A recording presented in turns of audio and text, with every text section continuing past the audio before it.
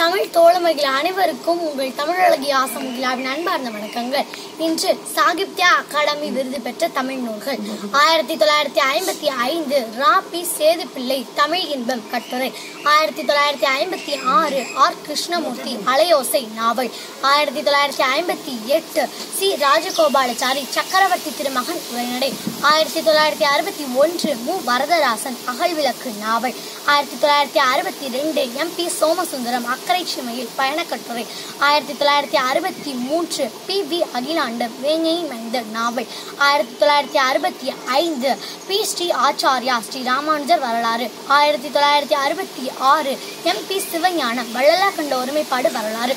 ஆயிரத்தி தொள்ளாயிரத்தி அறுபத்தி ஏழு கே வி ஜெகநாதன் வீரர் உலகம் கட்டுரை. ஆயிரத்தி தொள்ளாயிரத்தி அறுபத்தி எட்டு ஏ ஸ்ரீனிவாச ராகவன் வெள்ளைப்பறவை கவிதை ஆயிரத்தி தொள்ளாயிரத்தி அறுபத்தி ஒன்பது பாரதிதாசன் பிசுராந்தையர் நாடகம் ஆயிரத்தி தொள்ளாயிரத்தி எழுபது ஜி. அழகிரிசாமி அன்பளிப்பு சிறுகதை ஆயிரத்தி தொள்ளாயிரத்தி எழுபத்தி ஒன்று சா. பார்த்தசாரதி சமுதாய வீதி நாவல் ஆயிரத்தி தொள்ளாயிரத்தி எழுபத்தி ரெண்டு டி. ஜெயகாந்தன் சில நேரங்களில் சில மனிதர்கள் நாவல் ஆயிரத்தி தொள்ளாயிரத்தி எழுபத்தி மூன்று ராஜம் கிருஷ்ணன் வேருக்கு நீ நாவல் ஆயிரத்தி தொள்ளாயிரத்தி எழுபத்தி நான்கு கே. டி. திருநாவுக்கரசு திருக்குறள் நீதி இலக்கியம் திறனாய் ஆயிரத்தி தொள்ளாயிரத்தி எழுபத்தி ஐந்து டி தண்டாயு ஆர் தண்டாயுதம் தற்கால தமிழ் இலக்கியம் திறனாய்வு.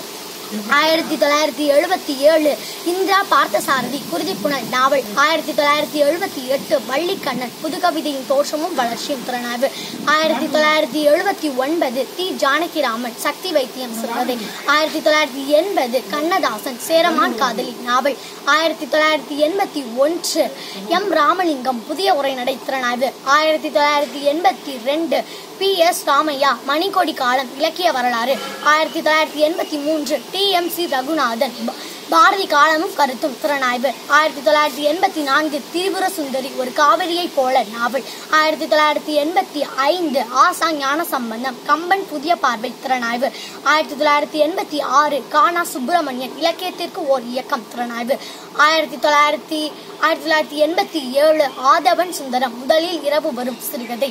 ஆயிரத்தி தொள்ளாயிரத்தி எண்பத்தி எட்டு வி சி குழந்தைசாமி வாழும் வள்ளுவம் இலக்கிய திறனாய்வு ஆயிரத்தி தொள்ளாயிரத்தி எண்பத்தி ஒன்பது லா சா ராமாமிர்தம் சிந்து நதி தன் வரலாற்று கட்டுரைகள். ஆயிரத்தி தொள்ளாயிரத்தி தொண்ணூறு கா சமுத்திரம் வேரில் பழுத்த பலா நாவல். ஆயிரத்தி தொள்ளாயிரத்தி தொண்ணூற்றி ஒன்று கி. ராஜநாராயணன் கோபல்லபுரத்து மக்கள் நாவல். ஆயிரத்தி தொள்ளாயிரத்தி தொள்ளாயிரத்தி தொண்ணூற்றி ரெண்டு கோவி மணிசேகரன் குற்றாலக்குற பெஞ்சி வரலாற்று நாவல். ஆயிரத்தி தொள்ளாயிரத்தி தொண்ணூற்றி மூன்று ஆயிரத்தி தொள்ளாயிரத்தி தொண்ணூற்றி மூன்று எம். வெங்கடாம் காதுகள் நாவல் ஆயிரத்தி தொள்ளாயிரத்தி தொண்ணூற்றி நான்கு. பொன்னிலன் புதிய தரிசனங்கள் நாவல் ஆயிரத்தி தொள்ளாயிரத்தி தொண்ணூற்றி ஐந்து. பிரபஞ்சன் வானம் வசப்படும் நாவல் ஆயிரத்தி தொள்ளாயிரத்தி தொண்ணூற்றி ஆறு. அசோகமித்ரன் அப்பாவின் சிநேகிதர் சிறுகதை ஆயிரத்தி தொள்ளாயிரத்தி தொண்ணூற்றி ஏழு. தோப்பில் முகமது மீரான் சாய்வு நாற்காலி நாவல் ஆயிரத்தி தொள்ளாயிரத்தி தொண்ணூற்றி எட்டு. சா. கந்தசாமி விசாரணை கமிஷன் நாவல் ஆயிரத்தி தொள்ளாயிரத்தி தொண்ணூற்றி ஒன்பது.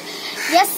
அஸ்- எஸ் அப்துல் ரஹ்மான் ஆலாபனை கவிதை ரெண்டாயிரம் தி. கா. சிவ சிவசங்கரன் விமர்சனங்கள் மதிப்புரைகள் திறனாய்வு இப்போ இந்த வீடியோ உங்களுக்கு பிடிச்சிருக்கும் அப்படின்னு நினைக்கிறேன். இதுல நிறைய பேர் இன்னும் உயிரோடு இருக்காங்க. அதுக்கு முன்னாடி கி. ராஜநாராயணன் அப்படின்னு நம்ம ஒருத்தர் பார்த்தோம் இல்லையா? அவர் வந்து இப்பதான் அவருக்கு தொண்ணூத்தொன்பது வயசுல இப்பதான் இறந்தாரு. அவருக்கு கூட முப்பது குண்டுகள் வந்து போலீஸ் மரியாதையோட மூணு தடவை அடிச்செல்லாம் விட்டாங்க அந்த மாதிரி சாகித்ய அகாடமி விருது எவ்வளவு முக்கியம் அப்படின்னு உங்க அத்தனை பேத்துக்குமே தெரிஞ்சிருக்கும்ல.